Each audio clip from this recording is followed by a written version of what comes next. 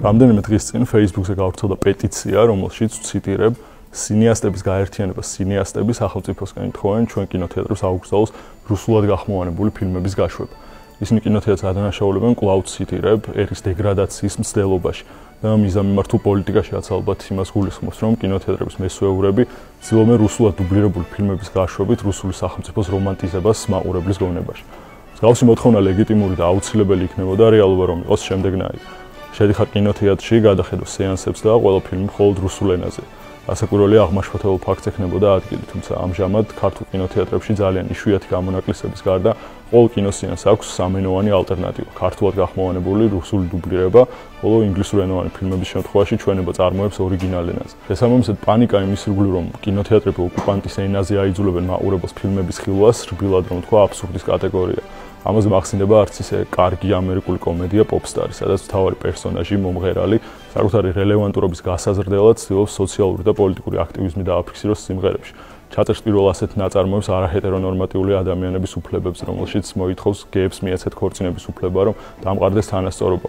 კეთილი და გრძელსულოვანი საქციელია, მხოლოდ საქმე იმაშია, რომ ამ სიმღერას ფილმის პერსონაჟი მაშინ ჩაწერს, როდესაც ამერიკაში უკვე ლეგალიზებულია გეი ქორწინება. საყურადღებოა ისიც, რომ პეტიციაში მოთხოვნა არის მიმართული არა კინოთეატრის, არამედ სახელმწიფოსადმი, ანუ ლიბერალი ადამიანების ჯგუფი სახელმწიფოსგან მოითხოვს, რომ ჩაერიოს კერძო ბიზნესში და აიძულოს შესაძლო არარენტაბელური ცვლილებების განხორციელება.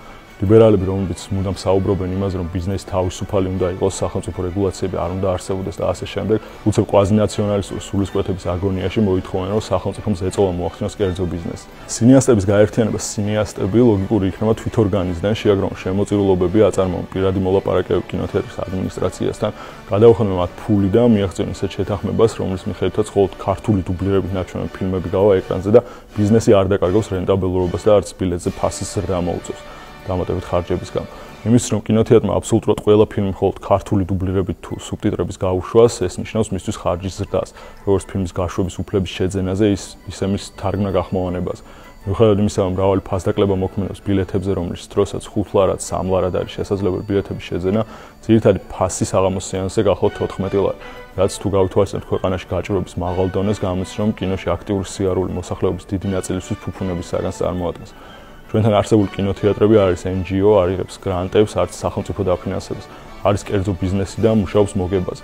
იმისაც რომ არ გაკოტრდეს, თუ მას გაეზარდა ფილმის დისტრიბუციის ხარჯი, მოუწევს მინიმუმ გააორმაგოს ბილეთის ფასი. ამასთანავე მაგალითად ქართული სტრიმინგ საიტები, სადაც მეკობრული პრინციპით უფასოდ მოპოვებული ფილმების აბსოლუტური უმეტესობა დევს რუსულ და ინგლისურ ენებზე და ძალიან მცირე ნაწილი ქართული თარგმანით აურაცხელი სარეკლამო რგოლების და ბანერების საშუალებით აკეთებენ ფულს, რაც გაცილებით უფრო არაეთიკურია. თუმცა ჯერჯერობით ამ ფლანგზე პატრიოტულ წუხილს არავინ გამოთქვამს. სამართლიან რომ მოითხოვს აღინიშნოს რომ გასულ წელს კინოთეატრ ამინაში მნიშვნელოვანი ევროპული კინოფესტივალების პროგრამაში მოასპარეზე თითქმის ყველა ნამუშევარი იქნა ნაჩვენები. ესე იგი იმის ნაცვლად რომ სახელმწიფოსგან ითხოვდნენ მის სუბსიდირებაში ყოფი რომელიმე დაუტვირთავი შენობის მუნიციპალურ კინოთეატრად გარდაქმნას Facebook-ზე ყვაწყდებით კომიკურ მოთხოვნებს იმის თაობაზე რომ სახელმწიფო უნდა ჩაერიოს და შეცვალოს კომერციული კინოთეატრის ბიზნეს სტრატეგია. ჩვენ არ პატარა ქვეყანაში სადაც პატარა ბაზარია აუცილებელია კინოს მიმართულების განვითარებას სახელმწიფო შეუწყოს ხელი. ამიტომ საჭირო არა მხოლოდ მუნიციპალური კინოთეატრები, არამედ გამოკვეთილი მიმართულების მიმართულებები დაფინანსებების ზრდა და ასე შემდეგ.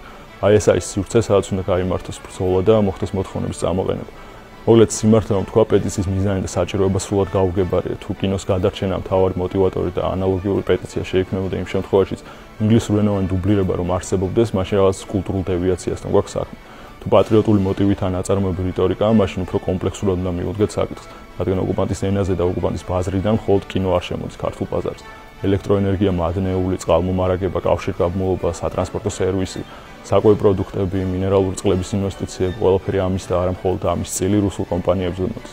შესაძლოა ეს მხოლოდ დასაწყისია და მალე ვიხილავთ პეტიციებს, რომელიც სახელმწიფოს მოთხოვს აფთიაქებდნენ ამოიღოს რუსული წარწერის მქონე ისეთ წამლები, როგორც ამაგალითად ვალიდოლი და დატოვოს მხოლოდ ქართული გულიდოლი. მოკლედ ნახოთ რა იქნება, იქნება სინიასტებმა შეძლონ და უფრო პასუხისგებლიან და მამულიშულ საზოგადოებად გარდაქმნან.